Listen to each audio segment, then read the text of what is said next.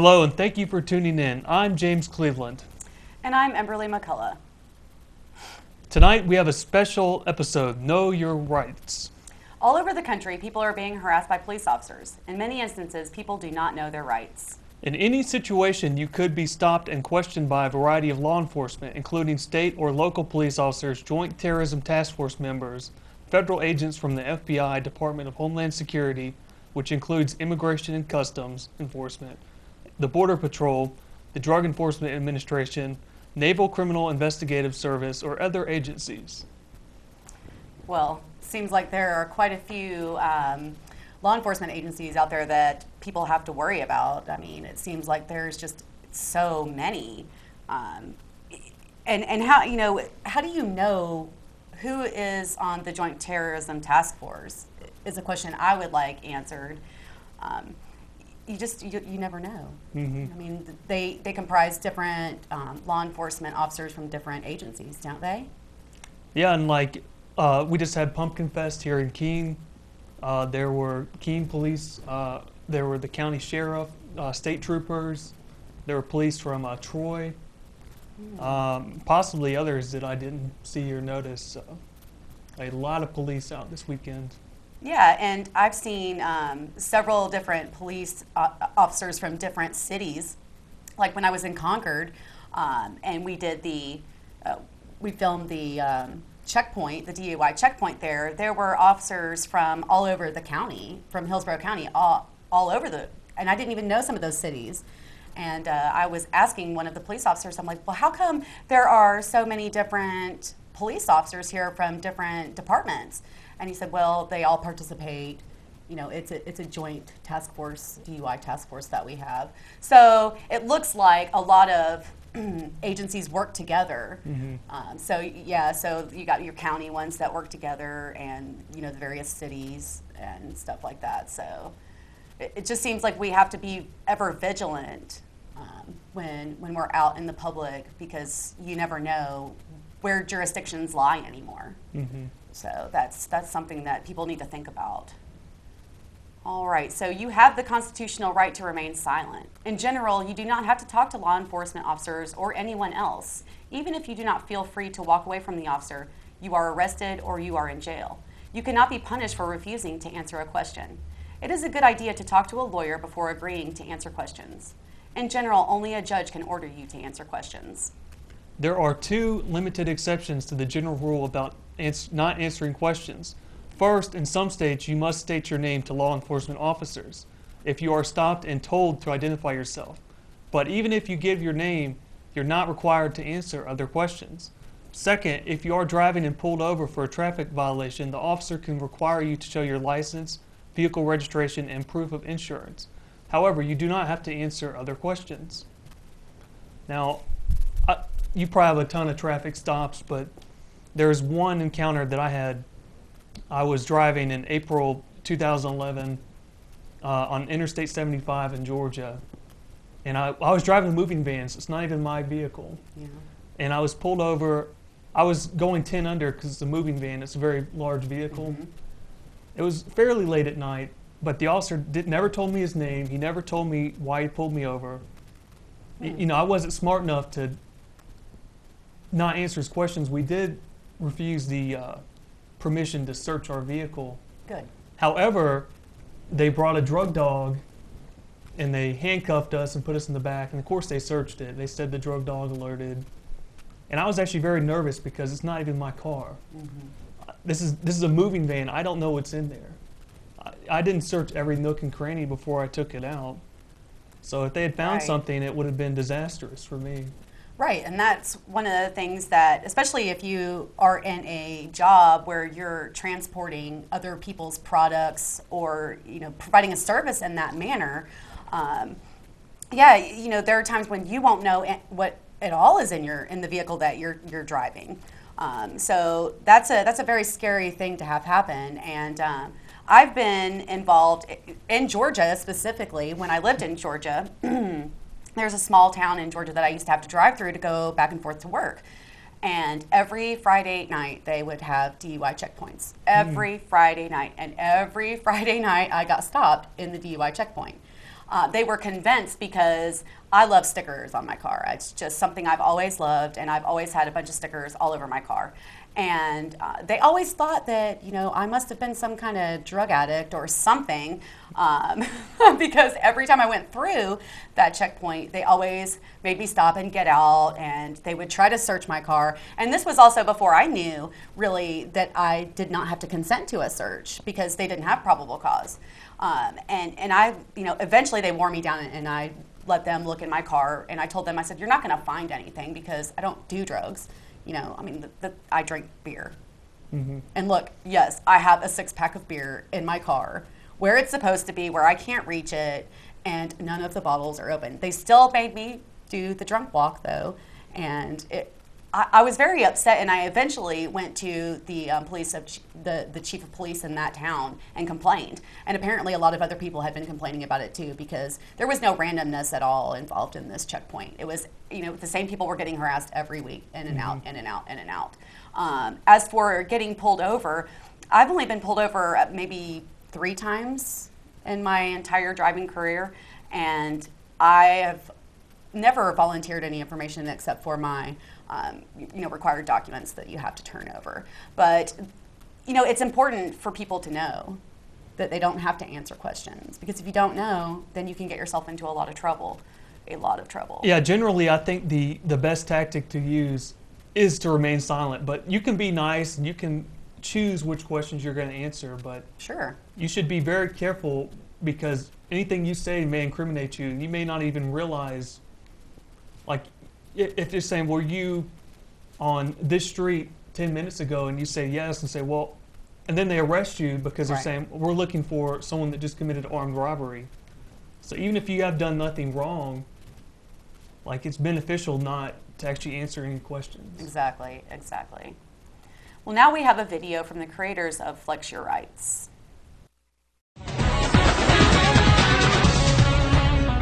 Do you know your rights when you're stopped by the police? Unfortunately, most people don't, and the consequences can be serious.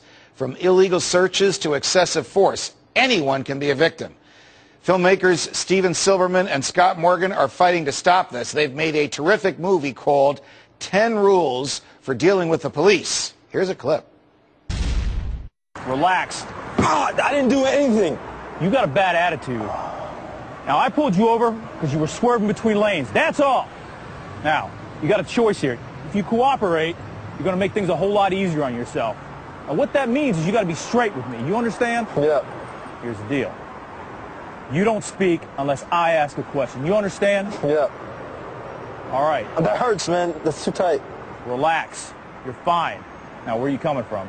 College. I'm coming home from college, man. You've been having problems with gangs moving guns down this highway. You're not packing any Tech 9s in there, are you? No, no, sir. So you don't mind if I take a look? Ah, go ahead. All right, Darren, you just relax. Don't move. Just relax, don't move. Stephen Scott, welcome uh, to Freedom Watch. This is a, a an important movie. We just showed a small dramatic clip. There's a lot of other things in there that show police abuse and show what the law is and what you have a right to do. Why did you make this movie? Well, the reason we made this movie is because we found that most people just really were completely terrified uh, during police encounters, and this manifests itself in, in one of two ways. Most people would completely roll over, would waive their rights at the point of a police encounter, but also some people, out of their fear and frustration, would wind up acting out Right. uh, during a police encounter. So we really realized we needed to create something that went beyond the little, you know, the wallet cards that many people may have seen, and really took this thing and made it more compelling and created scenarios that people can relate to when they see it. All right, and Scott, what you created was the 10 rules. We're going to throw them up on the board. Some are common sense, some are things that people uh, basically need to be reminded of. Always be calm and cool. Obviously, that makes sense. You have a right to remain silent. Now, if the police ask you for your driving credentials, you obviously have to give that to them. But if they say, where are you coming from and where are you going, you don't have to reply. What's the best way not to reply? Well, you know, that's up to you. And with those sort of where are you going kind of questions, that's really tricky to deal with because you don't want to seem evasive right at the beginning of the encounter. But I think the most important thing for folks to understand is once it gets to the point of, hey, can I look around in your car? What do you have in the trunk? That's the kind of stuff that you really have All to right, watch that's out one of the rules. That's rule number three. You have Right. a right to refuse searches. So when the police say, I see that bag on the front seat, I want to look in it, or would you mind mm-hmm. popping the trunk for me? What's the appropriate response? Officer, calmly. Officer, I know you're just doing your job, but I don't consent to any searches. And you might have to repeat this, and the officer might reply with, well, you don't have any bombs or, or guns in the trunk. What do you have to hide? You don't mind if I take a look, do you? And they'll keep asking, but this is actually not a command. It sounds like a command, but it's actually technically a request, and you have every right to refuse that search. And we advise that you do it. Say calmly, officer, I have nothing to say until And the police will, will famously say, as Steve just said, you have nothing to hide. What are you worried about? What's the response to that? I have my dignity. I have my privacy. And there's the law. Well, you can do that, right? And, you know, for us, you know, you don't want to get in an argument with the officer about it. But, you know, you can just calmly state your refusal, and if they keep challenging you, you don't have to answer additional questions. Ha- has the has do the movie had an effect? Is it getting out there? Are you getting feedback that people are doing are, are standing on their rights? Right. When we first started this work back in 2002, the most common response was after people watched our, you know, our, our first video was, "Oh man, I wish I had known this. I really was humiliated and hassled, and, and if I'd only known my rights, it would have been a much better situation for me." And now we are getting, yes, I asserted my rights, and and I simply drove away with a ticket. I'm going to tell you, I've seen the movie. I watched it. I loved it. It's right on the law, and everybody should see it. Steve Silverman, Scott Morgan, thanks for your. And now we're back. Um, I highly recommend that if you can, you should watch that film. It's called uh, 10 Rules for Dealing with the Police. It's put out by the organization flexyourrights.org. Yeah, it's a very helpful um, video that, that really gives you a lot of great information about you know how to deal with the police and what you should say, what you should not say, how you should act, um, what the police can ask you and what they can't ask you, whether they can search your vehicle or not, what probable cause you know is and isn't. So it's a great educational film, and um, I know I've watched it, and I've had my son watch it as well. Um, and I, you know, encourage everyone to watch it because it is a great informative film. Yeah, and, and these, you know, because police will use tactics to get you to consent to do things that you don't want to, and you know, above and above it, all of it, you have to remember that anything that you do or say, you know, can can be held against you, and that you just never know who's had access to your car. I mean, if you've taken it to the mechanic that day, you know, and, and you've left it there for six hours, I mean, how many people have had access to your vehicle that day? You know, so Yeah, one thing too, I think it's the rule number one: be calm and cool. And I'd add, you should you should be very nice, especially if you just want the encounter to end. right. Because if you if you're rude, they may view that as you're challenging their authority, and they they could become hostile, and then then you have a very bad situation on Yeah, your exactly. hands. Yeah, yeah. And you should also try to film any encounter that you have with the police. Um, this helps to hold them accountable. Um, yes, very true. You know, and if they're, you know, if they do something that they're not supposed to do, then you have proof, in essence, that they did something. Yeah, and in many instances, instances, police will stop people on the street and ask for identification.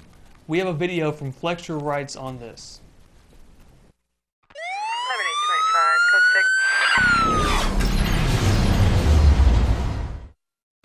What if police come up to me just asking for ID? Hey, hold up, man. Let me see your ID. Carrying an ID is required when you're driving, but there's otherwise no law requiring you to carry an Take your ID. off. But in some states, police can require you to give your name if they have reasonable suspicion to believe you're involved in criminal activity. How do you know if police have reasonable suspicion? Remember, police need reasonable suspicion to detain you. So, one way to tell if they have reasonable suspicion is to ask if you're free to go. Hey, hold up, man. Let me see your ID. Excuse me, officer. Are you detaining me or am I free to go? Just want to talk to you, man. What's your name? Are you detaining me or am I free to go? I'm not detaining you, man, but I promise I'm clean. That's your Don't rush, got time man. to chat. Gotta go. What if they don't let me go? Then you're being detained because the officer thinks there's some reason to suspect you of a crime. Let's see some ID. Excuse me, officer. Are you detaining me? Am I free to go? Turn around, put your hands up on the wall. In that situation, you could be arrested if you refuse to reveal your identity. Technically, police can't make you identify yourself anytime they want. But on the street, withholding your identity frequently leads to a detention or even an arrest. If your goal is to just get the encounter over with, then identifying yourself might be your best option. But if you're prepared to fight things out in court, you can flex your rights by refusing to cooperate with random ID requests. Yeah, in New Hampshire, uh, to the best of my knowledge, there's no law that requires you to give uh, your identification to the police, provided you're not driving or anything. Now, now, I would say if you're just walking, you're at a big advantage because if you're driving, they can say, well, you were swerving, and if they want to know who you are, they can pull you over. And even walking's not a sure thing though, because they say, well, you're jaywalked, or they could basically come up with some law that you didn't even know you violated. Right. Well, a friend of mine um, and I were coming out of a club. This was about two years ago. It was pretty late at night, and we happened to see um, this young man in a truck being harassed by police officers. So we stopped, and he, my friend started filming. And the, the police, this is in Tampa, Florida, and the police were um, all right with us filming. Uh, and then uh, the security guard, one of the security guards, got a little upset with us, and uh, the police then decided they were going to come over and ask for our IDs. Well, when we didn't show them our IDs, I did not get arrested, but my friend did. He actually got arrested for failure to show ID, um, which was the reason the police said they arrested him, but was not on the actual arrest report when we got a copy of the re- arrest report. So he told me, you know, my friend did. He said, from now on, whenever you're out walking, um, don't carry your ID with you. You know, just leave it, leave it at home, or leave it because you don't need it unless you're going to go somewhere where you possibly might need your ID. So you know, it's if you don't have it, they obviously can't arrest you for not showing it. So Yeah, that's one unfortunate thing about, like, you have to have an ID if, like, if you go to a bar and they're going to card you. Mhm. You, you know, even people that look well over 21, you know, let's say the grocery mark, they're going to card you because they don't want to get in trouble. Right, and and they have you know a lot of these stores have these mandatory if you're under 30 uh, new requirements. I, and in some places there are actual laws where you have to show ID to purchase um, tobacco and uh, alcohol, and so that forces people into carrying their ID with them all the time. So it's a it's a slippery slope that we find ourselves on, you know, with carrying ID or not carrying ID. It can sometimes keep you from doing some of the things you might want to do if you decide not to carry it. All right, in today's reality, um, many of us could be asked to meet officers for a counterterrorism interview. You have the right to say that you do not want to be interviewed, to have an attorney present, to set the time and the place for the interview, to find out the questions they will ask beforehand, and to only answer the questions you feel comfortable answering. If you are taken into custody for any reason, you have the right to remain silent. No matter what, assume that nothing you say is off the record. And remember that it is a criminal offense to knowingly lie to an officer. Right. So it, it's a criminal offense for us to lie to the police. So if we knowingly tell a lie to the police, then we can get in a whole heap of trouble. But yet the police are allowed to lie to, you know, regular citizens all the time, and they do it all the time. I mean, you you even see it on all the uh, the law enforcement shows where the police lie to people all the time. So it, it's a bit of a strange situation where they're allowed to lie to us and we're not mm-hmm. allowed to lie to them. You know. Yeah, I definitely think you should keep that in mind as well. Like, if they tell you like, oh, just just tell us where the weed is and we'll we'll let you go. It's not a big deal.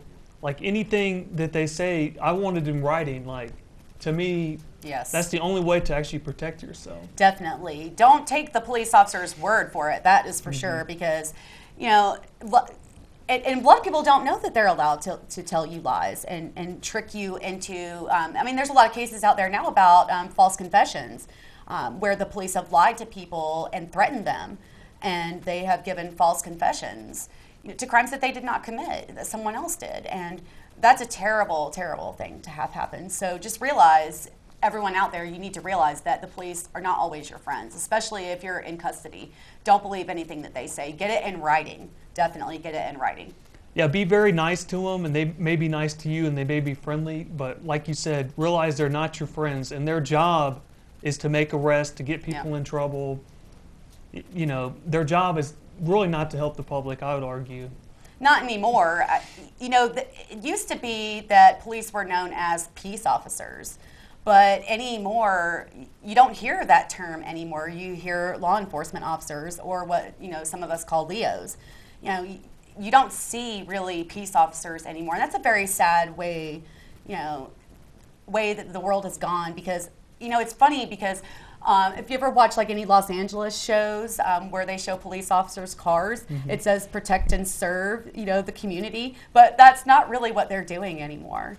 You know, they're they're money making in, a- in a lot of ways. They're pulling people over just to give them tickets and, and collect revenues. Or, or this weekend, they were arresting a lot of people for being under the age of 21 and having an alcoholic beverage, which is totally ridiculous in my opinion. Well, it's completely arbitrary to to have minimum age requirements for alcohol. I mean, in Europe, there in, in lots of places around the world, there are either no age limits or the age limit is at 16. Um, the United States is only one of a handful of countries that forces people to wait until they're 21 to be able to drink alcoholic beverages.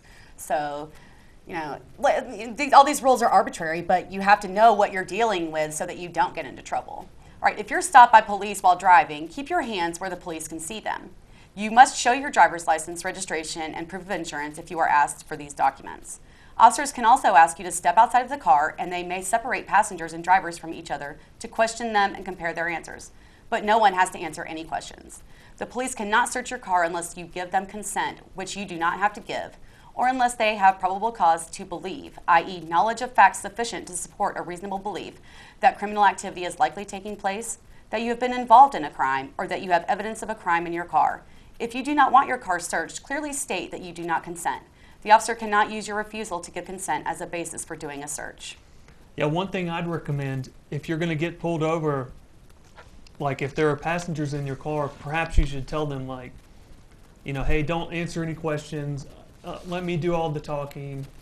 Like, if you're comfortable, more comfortable than a passenger that dealing with the police, y- you should take charge and Definitely, definitely. Yeah, definitely take charge. And, you know, you have plenty of time between when the car, you know, when you get pulled over and the police actually get to you, to your door. So, you know, yeah, definitely communicate with your passengers and tell them, you know, they don't have to say anything, that they shouldn't say anything, and that you should do all the talking. Yeah, and if you're one of your passengers, let's say they had contraband, like let's say they have a joint, Mhm. and they put it in the car, and then they're not going to claim responsibility. As the driver, you're responsible. That's true. For everything in your car, so That's you're going to be true. the one that even, gets charged. Even if the car is not legally registered to you, if you are driving the car, That's very you are true, yeah. responsible. So you should be aware of that, even if it's not your vehicle and they find something. Now, if you are arrested, the officer must advise you of your constitutional rights to remain silent to an attorney and to have an attorney appointed if you cannot afford one. You should exercise all these rights even if the officers don't tell you about them.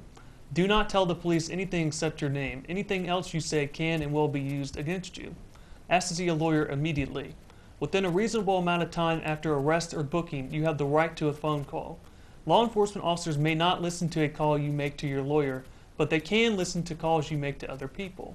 You must be taken before a judge as soon as possible, generally within 48 hours of your arrest at the latest. Now, I did, I just assumed that if I made a phone call from jail, that they would actually listen to the call. Me too. I did not know if you called your lawyer that they're not supposed to listen. That is a very interesting piece of information. Well, you know, the attorneys um, are protected. You know, they have protected speech when they're talking to their clients. So if they were listening and on your conversation with your lawyer, uh, that would be a breach of confidentiality and they could be severely reprimanded. I mean, if, if they were caught doing it. Um, but you know, be aware that when you make a phone call from jail or, you know, really anywhere in the court system at any time that you could be listened to. So, yeah, just be aware of that. Yeah, it's kind of funny. Like, um, they say that you don't have the right to record them, but they're, they're going to record you. Right. I At mean- all times, yes. All right, law enforcement officers can search your home only if they have a warrant or your consent. In your absence, the police can search your home based on the consent of your roommate or a guest if the police reasonably believe that person has the authority to consent. Law enforcement officers can search your office only if they have a warrant or the consent of the employer. If your employer consents to a search of your office, law enforcement officers can search your workspace whether you consent or not. Yeah, most places I've worked, um, they usually say like we have the right to search your. The employer claims the right to search your car. We have the right to let I've the police mhm. search the car. So I would be very careful what you you bring to your workplace. Anything that can get you in trouble, I recommend that you don't bring that. Right, and my employment contract for the last company that I worked for, um, you know, even though we have the constitutional right to bear arms, I was not allowed to bring my gun onto work property. Um, even if I had a concealed carry permit, I wasn't allowed to bring it onto my work property, and if I did, I could be fired. They had they had every right to search. You know, it was in my contract. They had every right to search my car at any time or my desk. Yeah, if a law enforcement officers knock on your door, instead of opening the door, ask at the door if they have a warrant. If the answer is no, do not let them into your home and do not answer any questions or say anything other than, I do not want to talk to you. If the officers say that they do have a warrant, ask the officers to slip it under the door or to show it to you. Uh, if your door is open only enough to see the warrant, if you feel you must open the door, then step outside and close the door behind you and ask to see the warrant. Tell the officers if they're at the wrong address or if you see some other mistake in the warrant. And remember that an immigration warrant of removal deportation does not give the officer the authority to enter your home. All right, so this is only really a fraction of the information that's out there for you to access. For more information, please visit flexyourrights and uh, .org. So most of the information tonight also came from the document Know Your Rights put out by the ACLU. Please note there is a specific section uh, dedicated to non-citizens. For more news and analysis, join us next week. I'm James Cleveland. And I'm Emberly McCullough. May you each find happiness, peace, and prosperity.